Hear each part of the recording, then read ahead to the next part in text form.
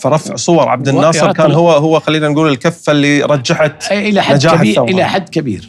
إلى حد كبير. لأن الشارع العربي كله كان ناصري. أنتم في الكويت عندكم المد الناصري إلى أن دخل صدام حسين الكويت.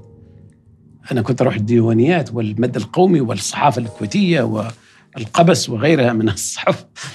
كانت كلها يعني صحافه قومية. وحتى عندما دخل صدام حسين في الحرب مع الفرس الدعم الكويتي والمالي والإعلامي والشعراء وال يمجدون صدام حسين لأنها روح قومية. يعني هذا هذا المد القومي كان موجود. إن ننتكس أخيرا وأصبحنا كل واحد افقدنا ثقتنا انفسنا ولا أصبحنا هذه قصة أخرى يعني.